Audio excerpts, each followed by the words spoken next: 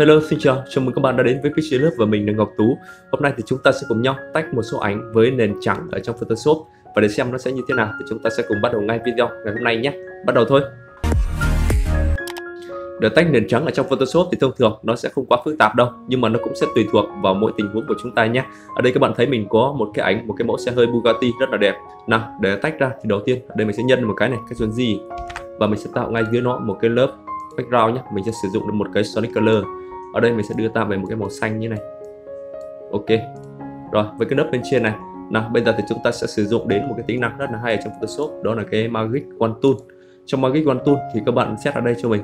Thông thường thì với ảnh nền trắng thì chỗ này mình hay đặt là 10 này. Chỗ này các bạn nhớ tích vào anti glass để cho nó bỏ cái phần khử đăng cưa đi. Và cái phần Contiguous này các bạn cũng tích vào cho mình để cho nó khử đi những cái điểm tiếp giáp. Nếu mà các bạn không tích vào cái này, mà khi mà các bạn chấm vào cái vùng trắng của cái này thì nó sẽ tự động nó nhận diện tất cả những cái khu vực nào mà có cái màu trắng. Chẳng hạn như là chỗ này cũng có này, chỗ này này, hoặc là chỗ này. Thành thử ra các bạn phải tích vào đây, như thế này. Sau đó thì các bạn kích vào đây một cái cho mình, thì tự động nó sẽ không nhận diện những cái vùng đó nữa. Và riêng cái phần sample onion này các bạn có thể tắt đi nhé. Nào, sau khi mình tích vào đây xong thì các bạn để ý này, các cái chi tiết kỹ của chúng ta xem là nó đã chọn nó đúng chưa. Ok sau khi mình đã tạo xong được cái vùng chọn như thế này thì các bạn sẽ thấy này cái phần xe hơi của mình cái phần bên trong mà hiện tại nó đang lấy cái vùng chọn ở vùng bên ngoài thì mình sẽ phải đảo ngược vùng chọn lại bằng cách là nhấn Shift F7 cho mình nhé thì nó sẽ đảo ngược vùng chọn và chỗ này chúng ta sẽ phải lấy thêm một số chi tiết nó bị thiếu ở đây. Mình sẽ sử dụng đến lasso tool này. Các bạn cứ tìm phím shift cho mình để nó hiện lên cái hình dấu cộng ở trong cái dấu con trò chuột của chúng ta này. Sau đó thì các bạn vẽ thêm ở đây một chút này để lấy thêm một số chi tiết này. Đấy, các bạn có thể zoom to lên và chúng ta đi chuột cho nó dễ dàng hơn nhé rồi, ở chỗ này có một chút nữa này.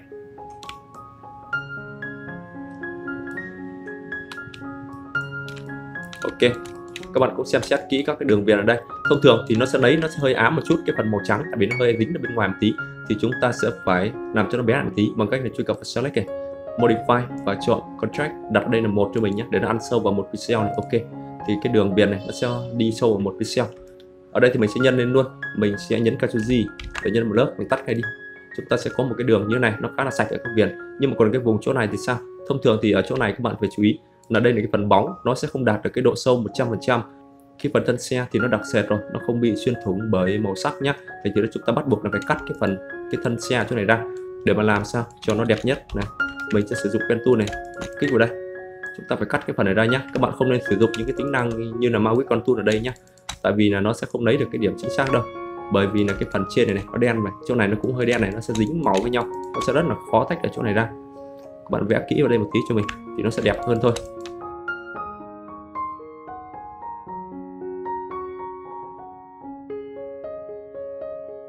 Với cái layer trên này là các bạn hãy sử dụng đến background eraser tool cho mình nhé xóa này, các bạn chọn cái background eraser tool này đó, ở trong phần này, các bạn nhớ đưa nó về discontinuous cho mình để nó xóa mạnh mẽ nhất này. Và cái phần tolerance các bạn đưa về 100% cho mình. Bỏ tích ở cái này đi nhé các bạn zoom to, cái nét growth của chúng ta ra, đặt kịch lên khoảng 5 ngàn cho mình. Các nét đưa về 100% và chúng ta chọn ở cái vùng giữa này, để mà chúng ta xóa cái phần đi. Các bạn chọn cái điểm mà nó sáng trắng nhất nhé kích ở đây một cái này. Thì tự động nó sẽ xóa đi cho chúng ta những cái phần không cần thiết này Ctrl D. Ở đây mình có thể đổi cái nền này qua những cái màu khác để các bạn xem cho nó kỹ hơn này bạn sẽ thấy là nó sẽ được một cái hình như này, màu sắc và các thứ chi tiết, nó đều tách bạch, nó không bị dính, bị lem nhem ở chỗ nào cả. Ok, nào, bây giờ mình sẽ kéo hình qua bên đây để các bạn xem này. Ở đây mình có cái ảnh, cái con đường, đưa nó về smart object này. Và thu nhỏ nó lại, đặt nó vào đây. Nhìn nó cũng khá là hay đúng không nào? Với những cái phần như thế này, các bạn có thể để ý là những cái phần ánh sáng về màu sắc nó không bị ám, những cái phần màu trắng ở đây. Và những cái đường viền, làm sao nó không bị dính những cái hạt gợn, nó không bị răng cưa. Nếu mà nó bị răng cưa thì chúng ta cũng phải cứ nó đi nhá. Nếu không thì nhìn nó sẽ rất là xấu. Nào, bây giờ mình sẽ chuyển qua một cái hình khác. Đây là một cái hình phẳng, đây là một cái đối tượng vector dạng 2D nó khá là đơn giản thôi. Cái này thì chúng ta có rất là nhiều cách để tách nó ra. Thông thường thì các bạn hay sử dụng đến select này con rem và chúng ta chấm vào cái này một cái này ở đây nhé bạn chọn cao lên hết cũng được, còn gần cao gần hết cũng được. Thông thường thì chúng ta chỉ cần chọn đến gần hết thôi, tại vì những cái điểm mà nó sát với màu trắng, thông thường nó sẽ có ám những cái màu nó không cần thiết, thì chúng ta không cần thiết phải để hết cái lên 200 chỉ cần đẩy lên, đến khoảng hơn 100 đã là đẹp lắm rồi. Ok, và chúng ta có thể sử dụng ở đây một cái solid color đấy. ok, thì nó sẽ tạo ra cho chúng ta một cái file vector như thế này, cũng khá là đẹp. Cái file này thì nó là một cái file ảnh thôi, chứ nó chưa phải là một đối tượng vector thuần, thành ra chúng ta không thể zoom nó quá to tuy nhiên là chúng ta cũng có rất là nhiều cách khác để tách ra, hoặc là các bạn cũng có thể nhân lên một cái này. Và sau đó thì chúng ta cũng sử dụng đến background eraser tool thôi. Chúng ta xóa nó đi, cái phần màu trắng này, thì tự động nó cũng bị xóa đi. Tuy nhiên là tại vì cái hình gốc của chúng ta, cái màu nó không phải là màu đen tuyệt đối, thành thử ra là khi xóa nó sẽ bị rỗng ở giữa như thế này. Các bạn phải nhân lên khoảng hai, ba lớp cho mình, như thế này, rồi gộp nó lại. Và sau đó chúng ta sử dụng branding option này, sử dụng color overlay. Và chúng ta đặt lại cái màu gốc có thể nói là với những cái đối tượng mà nó có cái dạng 2D dạng thuần về vector ấy, thì nó khá là dễ trong Photoshop thôi. Và đây là ảnh cơ bản với một màu sắc. Nếu mà nó có nhiều màu sắc thì các bạn có thể phân chia nó thành các khu vực khác nhau để mà tách cho nó kỹ càng hơn nhé. Ở bên đây thì mình còn có một cái ảnh một cái xe Vespa một cái xe scooter như thế này. Các bạn thấy này với cái bức ảnh này thì nó khá là giống bức ảnh đầu tiên. Tuy nhiên là nó lại có một cái điểm bất lợi ở đây. Đó là cái phần chi tiết về cái xe về màu trắng này. Nó lại bị dính với cái phần nền nó quá mạnh như thế này. Vậy thì làm sao mà tách được nó đẹp nhất bây giờ? Thông thường nếu mà chúng ta sử dụng đến Quick Selection Tool hoặc là sử dụng Magic Wand Tool để mà tách ra, thì làm sao nó sẽ bị bể nó sẽ không lấy được chi tiết, tại vì nó sẽ bị lẫn các cái vùng màu trắng với cái màu, cái xe nó sẽ lẫn với nhau. Thế thì bây giờ đầu tiên chúng ta phải nhân một cái cho mình. Sau đó thì các bạn phải sử dụng đến shadow highlight ở trong image này. Chúng ta vào adjustment và chọn shadow highlight cho mình. Mặc định thì nó sẽ như thế này. Chúng ta tích vào đây. Và chúng ta kéo các giá trị này cao lên, amount này để cho cái làm sao ạ? Cái phần tương phản giữa cái phần màu sắc ở đây nó sẽ lấy lại được chi tiết nó tốt hơn.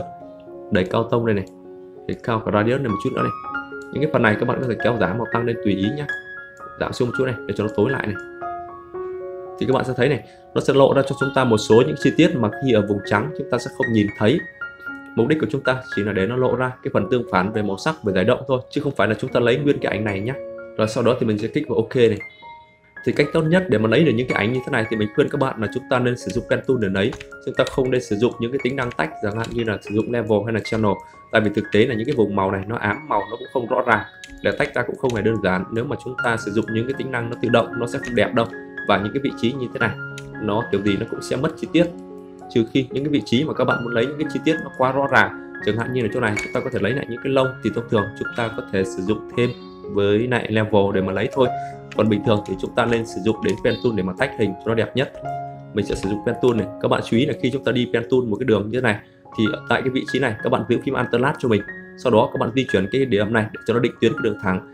Chúng ta hướng nó theo đúng cái đường này và kéo ở một cái mức độ vừa phải ra. Chúng ta không kéo xa ra như thế này. Chúng ta cũng không kéo thấp quá này. Chúng ta kéo ở một mức độ vừa phải. Để làm sao? Cái khoảng cách từ cái vị trí này đến cái vị trí chỗ này này, nó cân bằng với nhau.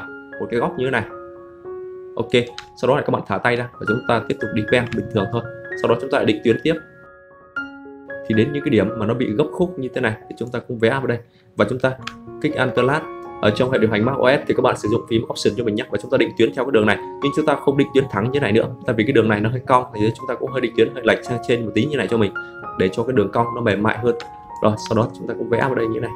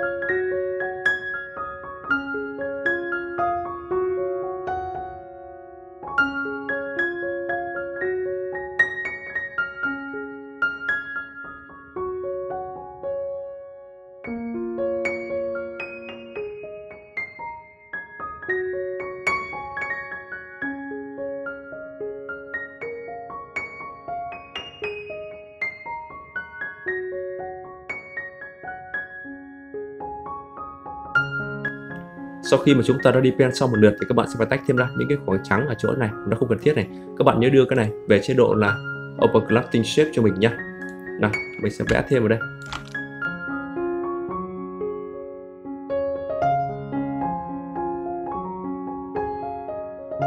Ok, sau khi xong thì các bạn nhấn Ctrl Enter cho mình để nó tạo một chọn. Và mình sẽ nhân cái đây một lớp này, Ctrl Z. Và mình cũng giữ Ctrl và kích vào cái lớp trên cùng một cái để tạo lại cái map này. Nhân cái background thêm một cái nữa này, Ctrl Z và mình sẽ đưa cái này lên trên. Nếu các bạn muốn lấy thêm cả những cái sợi lông ở trên những cái bánh xe này, thì chúng ta có thể tạo cái vùng chọn ở đây. Xung quanh chỗ này, nó cũng khá là dễ thôi. Sau đó thì các bạn nhân cái lên một cái cho mình. Nhân cái layer một lên một cái. Sau đó thì các bạn truy cập vào image và chúng ta chọn adjustment và chọn level cho mình nhé. Nào, mình sẽ đẩy cái này sáng lên một tí này như này để cho lọc qua hết cái phần màu trắng đi. Đẩy cái này sáng một tí nữa. Cái phần này thì cho tăng cái phần màu đen lên này. Mục đích của mình chính là đưa cái phần nền nó về hai màu thôi. Đó là đen và trắng rồi, ok. Sau đó thì chúng ta có thể sử dụng đến cái này. Background eraser tool này, xóa cái phần màu trắng đi. Thì tự động nó sẽ lọc cho chúng ta một cái phần màu đen, màu máu như thế này ở trong cái hình. Và với cái phần phía sau này cũng cơ bản cũng như vậy thôi. Tùy vào cái ảnh của chúng ta. Nếu mà nó có nhiều chi tiết thì chúng ta hãy lấy. Còn nếu mà nó mờ quá thì thôi.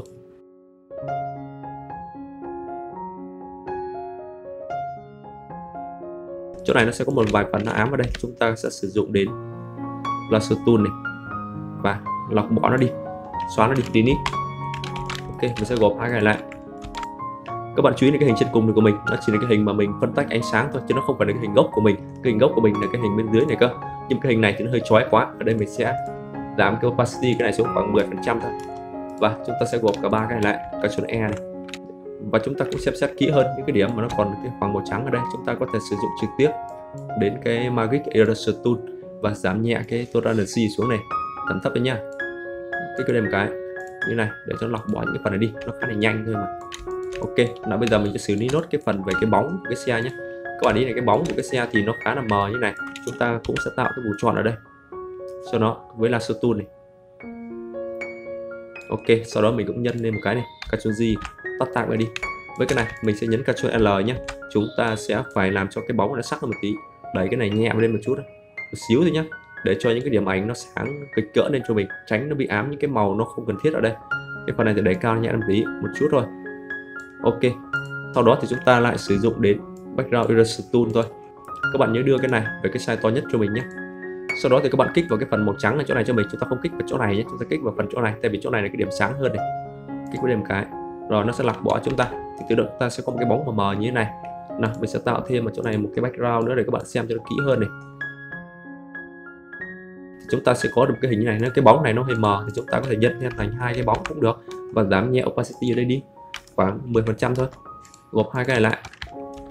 Và các bạn xem xét kỹ hơn, tại vì đôi khi một số ảnh nó sẽ bị ám màu trong những cái vùng xung quanh này này. Nó có bị ám màu nhưng chẳng hạn như chỗ này nó vẫn hơi ám màu ở chỗ này một xíu này. Thì chúng ta bắt buộc là phải tạo một cái mask và dùng rốt này, giảm hết cái phần HNet này xuống. Đưa nó về màu đen nhé và chúng ta sẽ tẩy mờ cái chỗ này đi.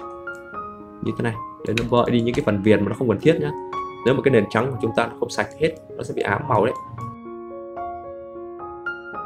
thì như vậy là mình đã chia sẻ xong cho các bạn một số cách để chúng ta tách ảnh với nền trắng ở trong Photoshop. Nó cũng khá là dễ dàng thôi, tuy nhiên là nó cũng tùy thuộc vào mỗi bức ảnh, mà cách tách đôi khi nó sẽ hơi khác nhau một chút.